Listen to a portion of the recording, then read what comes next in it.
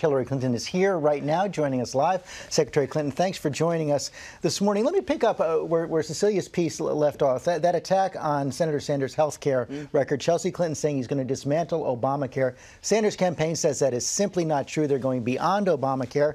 And President Obama's former strategist David Axelrod weighed in as well. He said it's really not an honest attack. It's not something they should have sent her out to do.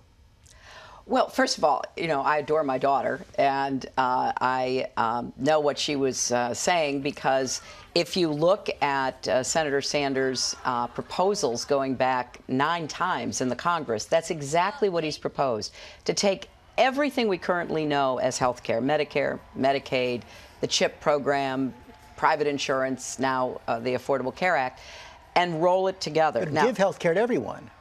Well, but let's get the specifics, George. That's why I'm saying we're now in the area where we have to go from generalization to specifics. I have said what I will do to improve the Affordable Care Act, and I've laid out specifics about out of pocket costs, about prescription drug costs.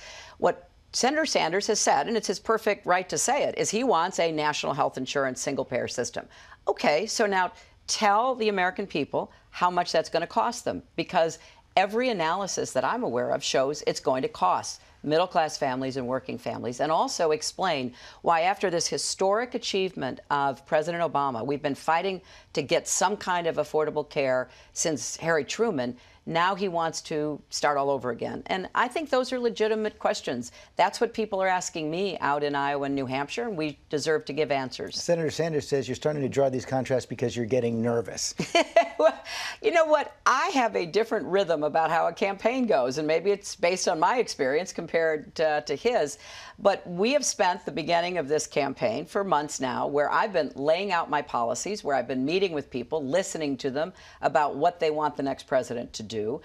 And now we're in the sprint, and it is time to draw contrasts so that, look, there's no comparison between what the Democrats believe because we have some of the very same objectives compared to what the Republicans are peddling.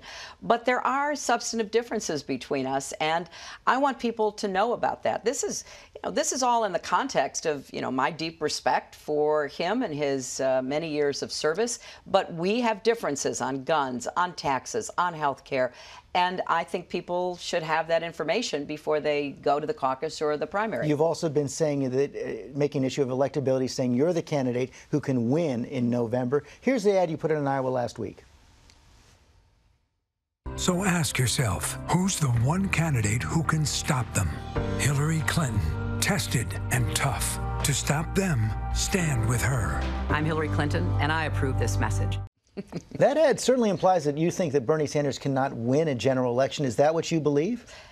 What that ad says is that I have the experience, the toughness, the resilience to be able to take on the Republicans. I think that's a very. Also says you're the only one. Well, I think I will do the best job of making sure we don't let a Donald Trump or a Ted Cruz become the next president Why do of the United some, States. So many polls show Bernie Sanders doing better against Donald Trump than you you know, I don't pay attention to the polls, George. I mean, I, you know, I know that's the way folks keep up with it in terms of the horse race. But from my perspective, you know, polls go up, polls go down. I don't really pay attention to them. I have a plan. I'm implementing it in Iowa. I'm implementing it in New Hampshire. I feel very good about it. And now it's, you know, what, two plus weeks until we know. Your own campaign is saying that if you lose, Iowa could change the course of the election. Is that what you believe? Uh, you know, I want to win. But I have a very long view about this. I've been organizing in the states that come after South Carolina, Nevada, and then the states that come after that. Look, I campaigned until June last time, as we all remember. I feel very strongly that we must have a Democratic president to succeed President Obama. That's what I'm going to be making the case for. Before we go, you buy a Powerball ticket? I did. and I did. if you win? Well, I'll fund my campaign. Secretary Clinton, thanks for joining us this morning.